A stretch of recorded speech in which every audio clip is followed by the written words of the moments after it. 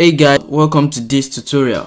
Um so in this session we're going to be building a weather app.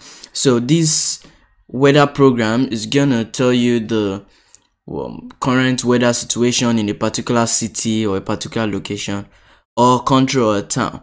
So what we're going to be building is a program that is going to ask a user to input let's say a city or a town or any location and then it's going to return to that user details of the weather situation in that location.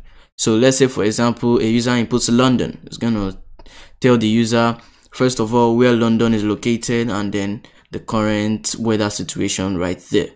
So for us to do this we're going to be using the open maps weather api open weather maps api so when I come here, this is their website, openweathermaps.org. Um, all you just need to do is to sign up. So when you sign up, you log in, then you come straight to API keys. Then you're gonna see that you have this default key. So once you have the default key, we're gonna copy it and then use it in our code later. But for now, let's start with the code. Just make sure you have the API key first of all, then you can follow along. So now what we just need to do is to import requests. Now on this request is a python library for sending requests to any website. So you know we are using the api of this website.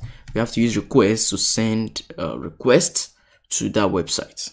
And if you don't have this just install it by saying pip install requests in your terminal. So now we're also going to import something named pretty print from pprint import pprint so when we send a request to this page it's gonna give us a response in a json format. So when we have that response in a json format it's always not so easy to visualize or to read. So this pretty print library is gonna turn that json format into like a tree you know a word tree or dictionary tree in which you are going to be able to read normally. So after that what we just need to do is to specify a new variable and name it api key. So something like this. Let's leave it blank for now. And then let's add a new variable and name it city. So this will be an input from the user. And then we're going to tell the user to enter a city.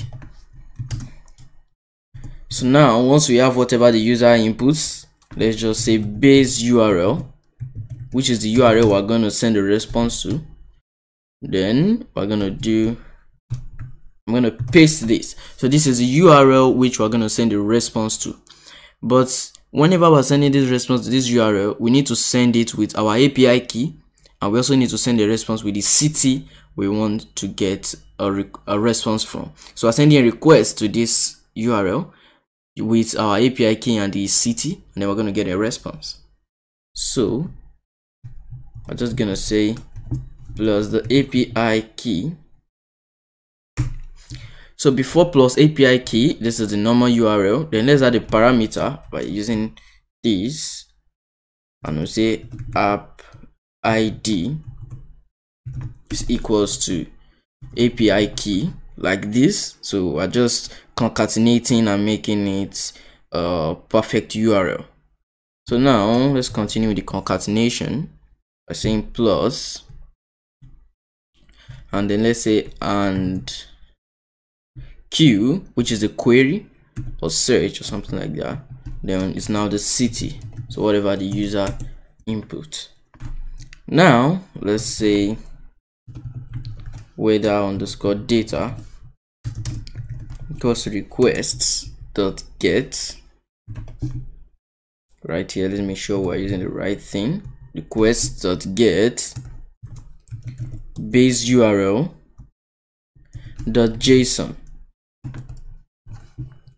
So now request dot get base url dot json as i said we're going to get a response from that url and it's going to have to be in a json format so now we have everything we need about this current city in a JSON format. But let's use pretty print to make sure that it is readable and it makes sense. so say p print weather data so this is gonna pretty print the weather data now let's run this program right here it says i should enter a city i enter london. Now you can see it says invalid api and why is that? Because right here in the code let me quit this. I said we should leave the api blank for now. So let me go there and copy my api this is my api key and paste it there. So remember i said we need this api key. So that's why you have to come here create an account log in come here to API keys and then get your API. Now, when we run this, we won't get any error. And then, let's say London.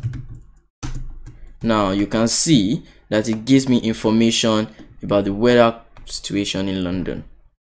So right here, enter a city London, base station, so cloud, all.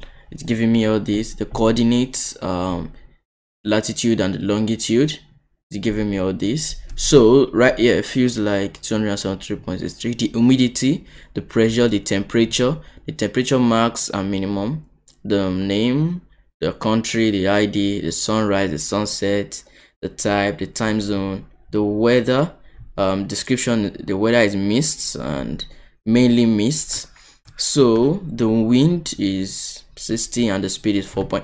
12 so it's giving me all this information which i need. So this is how to use open weather maps api to get the current weather situation in any city in the world. Now we can try this for other cities. Now let me just run this program again. So enter a city. Let me enter a city like um delhi. Now enter delhi in india now i have this and it also gives me everything i need to know about delhi. As you can see it says it's from india.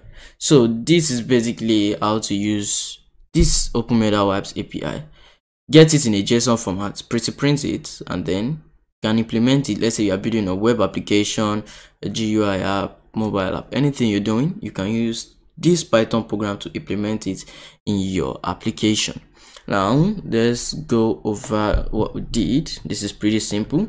We just imported requests. We imported print to print. We got our api key from here. We use the city uh, variable as an input. We make sure we specify the url then weather data we send a request to that url and then we got a response and store that response in weather data and then we just pretty printed it. That was simply all we did. Now that's gonna be all for the weather with python